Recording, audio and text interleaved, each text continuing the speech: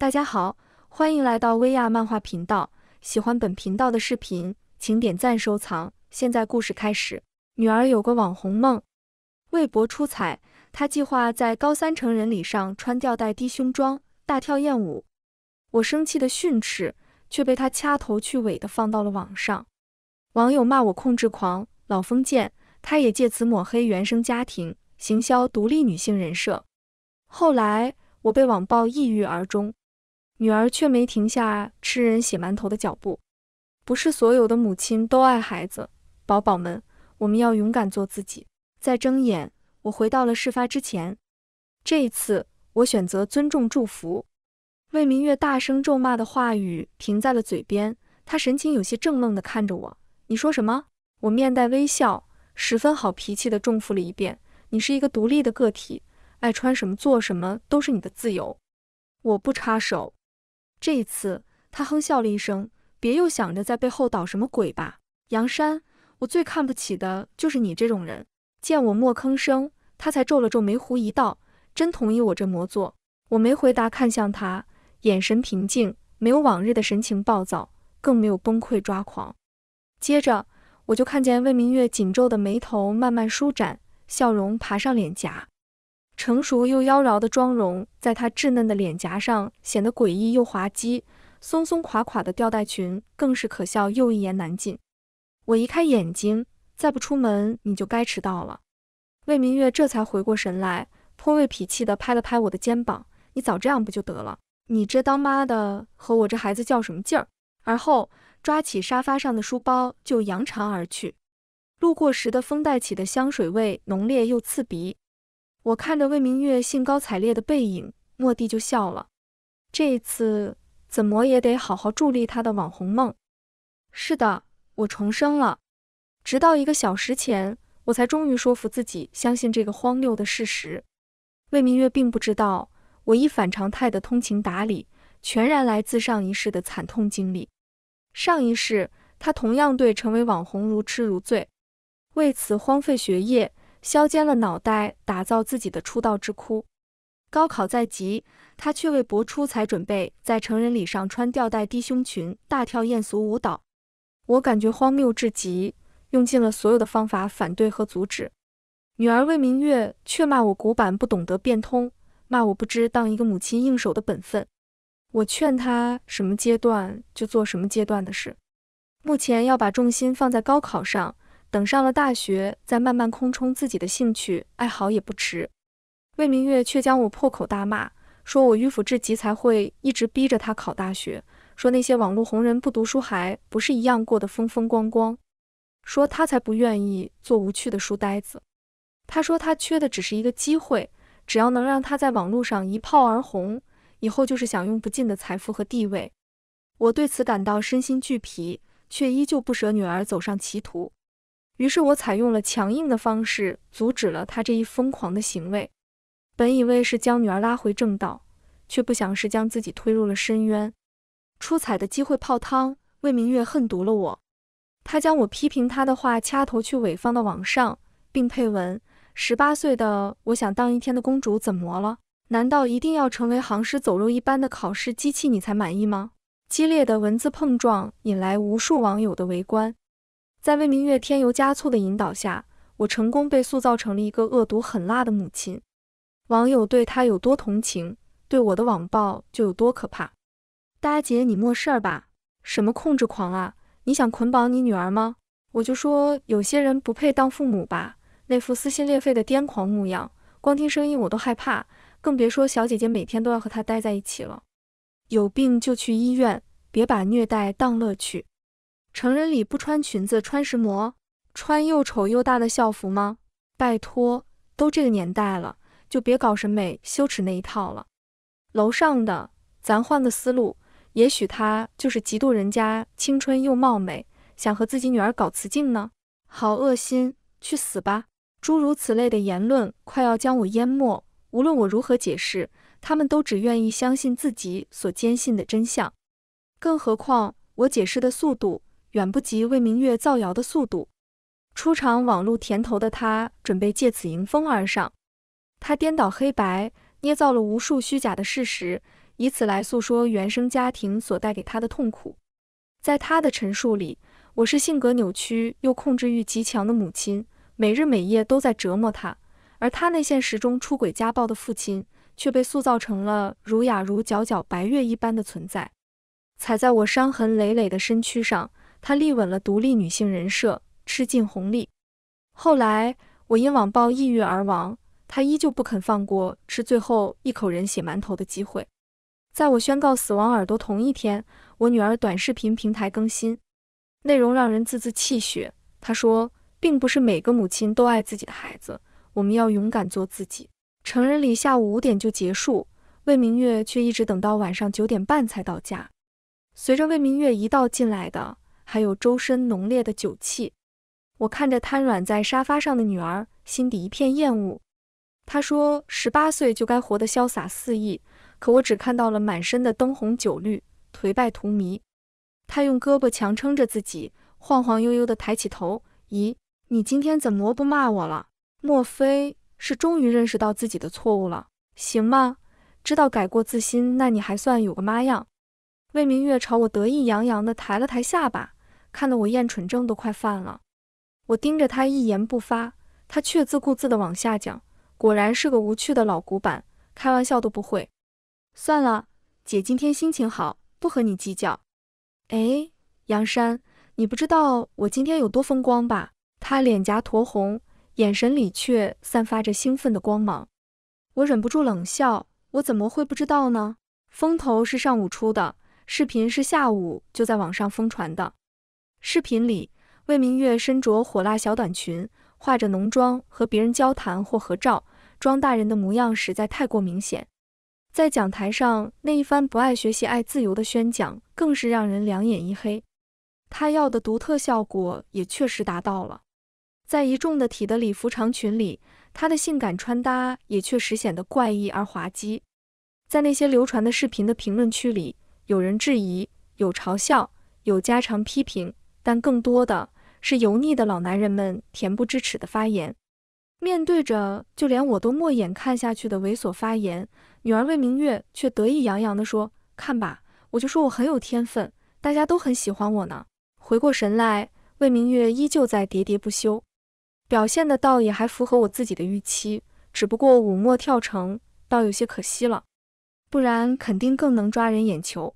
呸！真晦气！学校那帮老头居然比你还迂腐，凭什么不让我跳啊？居然还说我的演讲给学校造成了不良影响，干什么？是想威胁我不给我毕业？搞笑了！我还看不上了呢！爱谁谁吧！说罢，魏明月掏出手机，似乎是在欣赏自己暴涨的粉丝量。我懒得再看他，直接转身回了屋里。外面的魏明月却开始吵嚷起来：“杨山！”人呢？我要喝水，赶紧给我拿水来！滚哪儿去了？听不见人话吗？真烦人啊！你也没老得走不动道吧？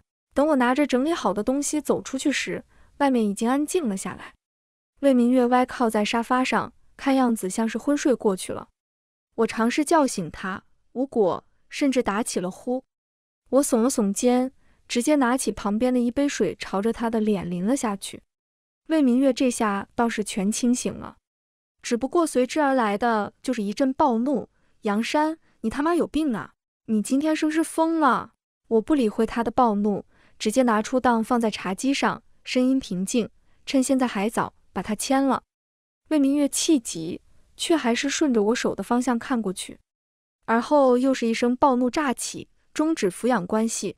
他似乎不太敢相信自己看到了什么，抹了一把脸上的水。又将茶几上的协议放在手上，睁大眼睛看了又看，在发现真的没有看错之后，他整个人都愣住了。你什么意思？和我唱这出？不想要我了？你已经十八岁了，该尽的义务我也已经尽到了。你不是向往自由吗？我现在放你自由。签完协议，你现在就能走。魏明月满脸的不敢置信，声音中都带了哭腔。杨山，我可是你亲女儿。我神色平静，接过他的话茬，所以之前的付出，我并不需要你返还，以后也不用你养老，签完你就自由了。话都说到这个份上了，魏明月自然看出了我并不是在开玩笑。他看看我，又看看那份协议，蓦地就笑了。我说：“今天怎么突然就这么善解人意呢？感情是准备赶我走呢？” 我就知道，这么多年来竟把我当拖油瓶了吧？我呸！不想养，当年怎么不把抚养权给我爸呀？尽管早已知道女儿魏明月的冷血叛逆，如今再从他口中听见这样的话，心口还是免不了一痛。多可笑啊！我拼尽了一切将她养育成人，而竟却落得这般角色。我不讲话，只静静地看着他。下一秒，只见魏明月负气一般的随手签了那份协议。行，我他妈能独立，我不靠任何人。谁求你养我了吗？我以后再来找你，我就是孙子。呸！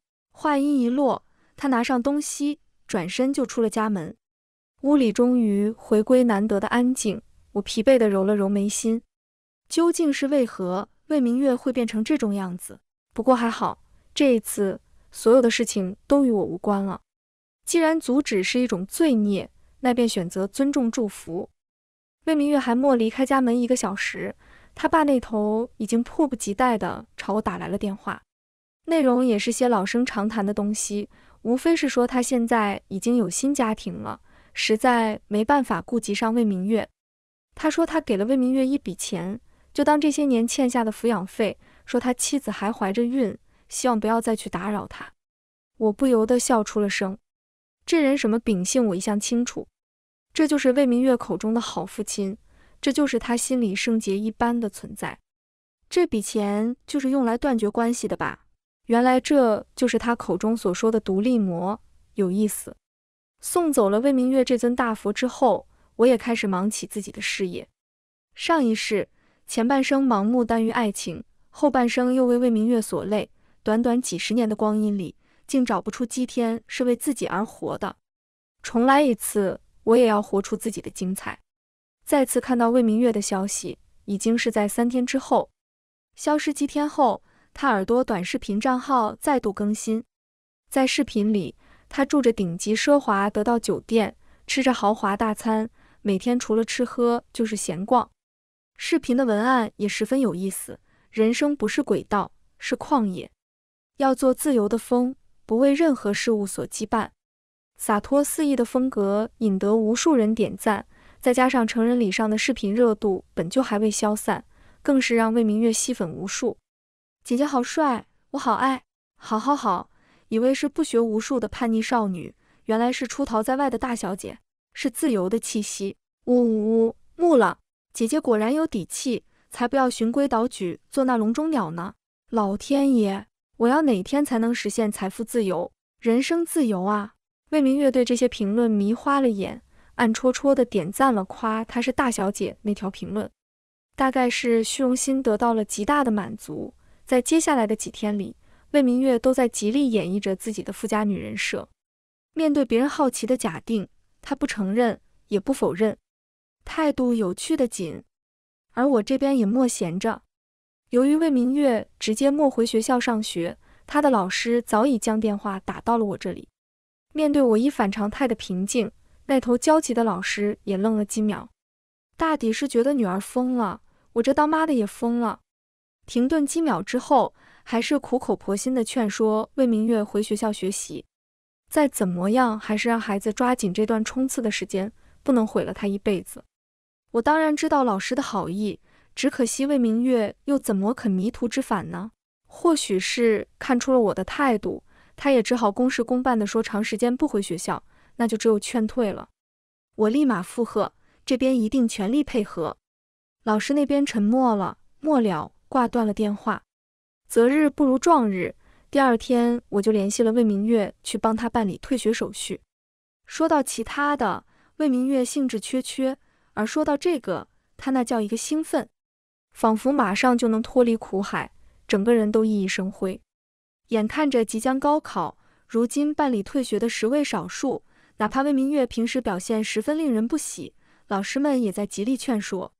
魏明月却对此嗤之以鼻，搞笑吧？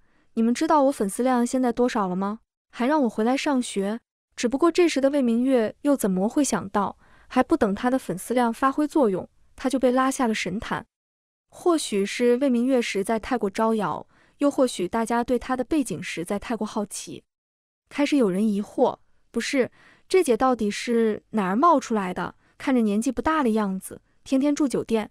紧接着，有人开始挖魏明月这位网络红人的老底，其实根本就用不着挖，只要稍微用点心，就知道她并不是表现出来的那样风光。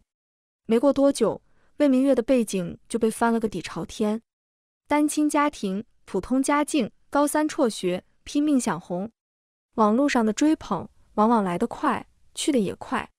他潇洒肆意的炫富有多么令人艳羡，背后的欺骗就有多么令人唾弃。暗戳戳装什么大小姐呢？还说什么自由最重要？瞎引导什么呢？大姐，你花你爸妈的钱炫富倒是挺心安理得的呀，学也不上了，怎么跟个小混混似的？已经被捧得高高的魏明月哪里受得了这一番诋毁？可不知道如今遭到网络反噬的他，会不会有我上一世千万分之一的难过？魏明月向来是个欺软怕硬的，他并没有将矛头指向对他冷嘲热讽的粉丝，而是打来电话将我一顿痛骂。为什么我要是你的女儿？为什么我要出生在这样的家庭？现在大家都知道我是在打肿脸充胖子了，你满意了吧？我恨你！你怎么不去死啊？我感觉莫名其妙，没有反驳，没有争论，而是直接挂断了电话。原因很简单，不与傻子论长短。网上的言论让魏明月成功破防，虽然很不情愿，但他也确实没有反驳的理由。让我没想到的是，他泄愤的方式居然是主动提出和我断绝母女关系。原因也十分简单，有我的存在，只能阻挡他大红大紫的步伐。对于这种能将魏明月甩得远远的的请求，我当然欣然接受。没想到前脚刚在公证处开出证明，后脚魏明月就一脸的理所当然。我爸给我的钱花完了，酒店还欠着钱呢，你去交。我何柱在他眼里，断绝关系也只是 cosplay 的一种吗？我当然不会再花一分钱到魏明月身上。本以为魏明月还会被这件事情多拖一下。没想到他却十分顺利地解决了这件事情，让我百思不得其解。直到几天后，在某直播平台看到他的身影，直到那时我才知道，有一家 MCN 网红孵化机构看上了魏明月身上的流量，找了他签约，自然也解了他的燃眉之急。自此，魏明月也借由公司洗白了他撒谎造假的事，换了个人设，成功走上他梦寐以求的网红道路。我实在无心欣赏魏明月那些擦边直播，索性关闭了网络，认真过着自己的生活。后来的那段时间里，我报名了各种培训班，提升自己。魏明月也在直播圈名声大噪，虽然大多数都是骂声，但是黑红也是红，我看他乐在其中。高考如约举行的那天，魏明月正在直播间和榜一大哥打得火热，直到那时我才最终确定，魏明月是真的回不去了。他做着剑走偏锋的直播，凭借着哗众取宠，享受着所有人的注目。魏明月却十足够风光，甚至连他那个从前一向对他避之不及的亲爸也上赶着蹭热度。而几个月后，她怀孕的消息更是成功让她的热度暴涨了许多。魏明月欣喜地公布喜讯，她分享着自己一见钟情的爱情，分享着被细心呵护的甜蜜。也分享着对方知道她怀孕的消息后有多么的欣喜。女孩们，只要勇敢做自己，幸福自然悄然降临。不要做循规蹈矩的傀儡，要做山间自由的风。有人祝福，也有人嘲讽，说他小小年纪便辍学未婚先孕，带坏社会风气。面对着这些不一样的声音，魏明月通通引导粉丝对了回去。面对大家询问孩子的父亲时，他却笑笑说：“现在先要保密。”看到这里，我却只想发笑，因为就在三天前，魏明月刚约我见了面，亲口告诉了我孩子的父亲是谁。这么长时间不见，魏明月早已不是我记忆中那青涩稚嫩的模样，化着浓妆，戴着墨镜，全身的名牌加奢侈品，活像一个来向我开战的战士。我本无意再和他见面的。奈何他实在是像有病似的，逼得太紧。一见面，先是将我从头到到尾打量了一番，低声说了句：“真老土。”而后直接拿出一张银行卡，这里头有十八万，就当偿还你的养育之恩了。我这人呢，也从来不喜欢欠别人什么。虽然你说了不用给，但还是说清楚两清比较好。原来是怕我和他那亲爸一样，总想着凑上钱分一杯羹吧？我觉得好笑。不过送上来的钱不要白不要，更何况这本来就是我应得的。见我坦然手下银行卡，魏明月高傲的冷哼了一声，而后便对我进行了一番预想中的嘲讽。我还有自己的事情要忙，无意和他纠缠，只说了一句：“你讲的都对。”便准备离开。谁成想，下一面魏明月便如同一只斗胜的公鸡一般，高昂着脖子：“我已经怀孕了，以后我只会过上更好的日子。”不知是太过熟悉，所以对我不设防，还是实在忍耐不住向我炫耀的心思，魏明月直接莫向我隐瞒孩子的父亲是谁。他对我真的很好。愿意在我陷入困境的时候拉我一把，后来还让我完成自己喜欢的事业，他真的做到了，将我宠成小公主。魏明月口中的他，正是他公司的老板，也是他腹中孩子的父亲。更要命的是，这男人是个油腻猥琐的中年已婚男。我看着面前正眉飞色舞的魏明月，只感觉无比的陌生。我扪心自问，虽生活上莫能让魏明月从小大富大贵。但也莫让他缺了什么，更别说精神上。虽说做不到如教育家一般培养孩子，但至少也教给了他正确的三观。我不知道他是如何长成了今天这副模样。我对他的培养是折磨，是古板和迂腐，而随随便便来个男的施舍点阳光，变成了他的救赎。如果真的宠他爱他，又怎么会加大流量扶持他的擦边直播？更何况这样一段关系。本就是令人不齿的。本着最后的一丝善念，我出口提醒他慎重考虑。没想到魏明月却直接炸了毛。杨山，你还是这模喜欢让人扫兴？你自己留不住男人婚姻不幸福，就敢肯定我也默认真心相待吗？我凭什么不能拥有幸福？你就那模见不得别人好？我懂了，你又老思想作祟了吧？觉得我是小三？拜托，这都什么年代了？不被爱的那个才是第三者，好吗？我告诉你，阿强都跟我说好了，等时机成熟就和家里那黄脸婆摊牌。他说了，我才是真爱，你就等着看吧。怎，本来还想着你到底算是孩子的姥姥，给你吱一声也行。现在看来是我自作多情了。行吧，该还的我也还清了，以后你就别来沾边。魏明月重新戴上自己的墨镜，拿上东西，十分高傲地就离开了。我看着他离开的背影，心底默念尊重祝福。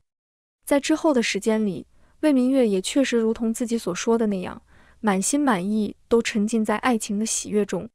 他认为张强有钱又对他好，自己一定是找到了真爱。在他发布的视频里，甚至时不时会出现张强的身影。从一开始的暗戳戳，到后来的明目张胆，评论区好奇的声音越来越多。也越来越多的人开始深挖后面的蛛丝马迹。我怎么觉得那男的背影那么像张强？开玩笑吧，那不是月月老板吗？楼上的，这不是重点，重点是这男的早就结婚了。我靠，玩这魔大！要真是张强，那我必脱粉了。搞什么呀？营造清醒独立女性人设，结果去给人当三儿？或许是心态的变化。又或许是觉得如今有了底气，魏明月丝毫不再担心网友的挖苦讽刺，隔天就发了一个日常文案：不被世俗所束缚，真爱永远无敌。视频里仍然很有心机的露出了一个男人模糊的侧脸。他这一说，就差没直接承认网友的猜测了。魏明月不可谓不嚣张，我就当看个热闹，等着他怎么收场。只不过没想带。让人大跌眼镜的是，第二天那条视频就消失不见。魏明月没做任何声明，只是装作无事发生，继续直播带货。但他强撑的神色和眼底若有若无的乌青，却出卖了自己。我想过魏明月如此高调的行事一定会出事，却没想到这把火还能烧到我自己身上。距离上次见面已经过了两个月之久。魏明月挺着高高的孕肚，回到了当初那个他打死都不愿意再回来的家。一开门，他就直接一个滑跪到了我面前，那大肚子看得我都心头一惊。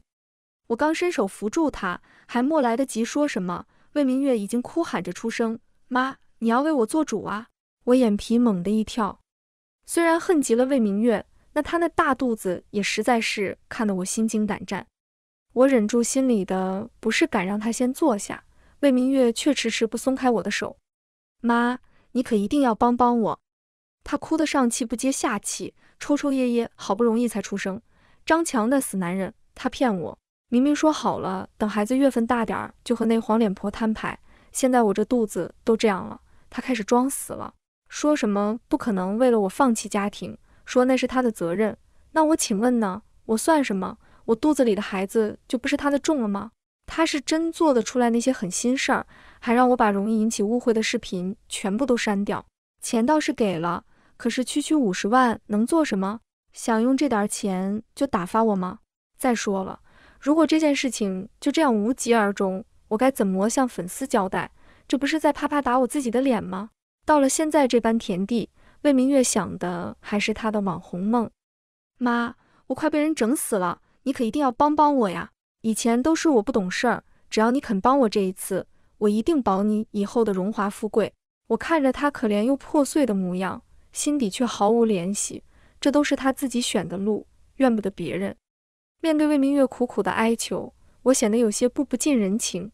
不管他怎么讲，就是坚持这件事情和我无关，并请他尽早离开。